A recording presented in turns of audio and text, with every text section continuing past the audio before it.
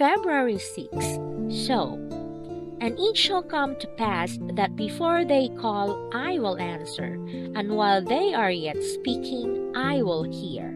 Isaiah chapter 65, verse 24, King James Version.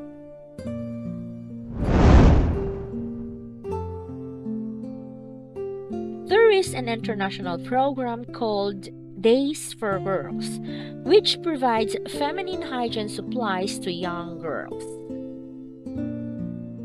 I have been involved with the project for a couple of years now.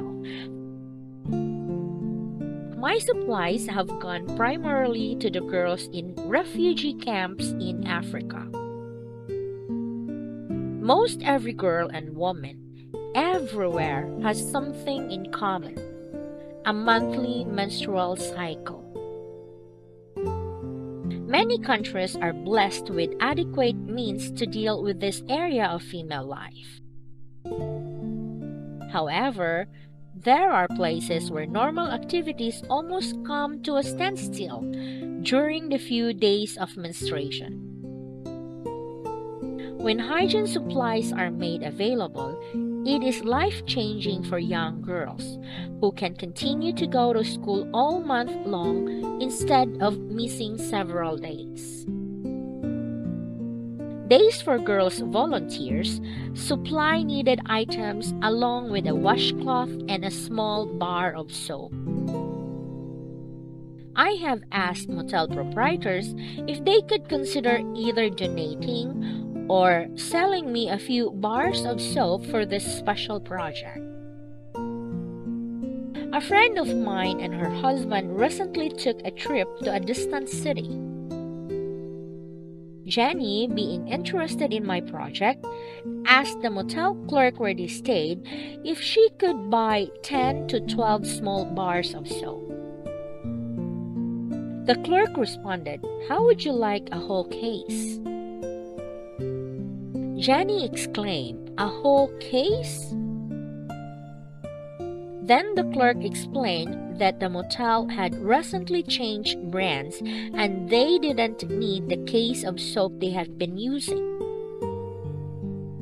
Jenny took the case of soap to her motel room and tried to figure out how to get it home. She removed clothes from her suitcase, placed them in a carry on bag, and crammed both suitcases full of soap. When they arrived at the airport, the airline check in clerk asked why Jenny's suitcase was so heavy. With grin, her husband responded, Soap. The clerk exclaimed, Soap? And they laughed. Then Jenny briefly explained that the soap was for a missionary project. The lady said that she too had done some missionary work in the past and gladly waived the $40 excess baggage fee.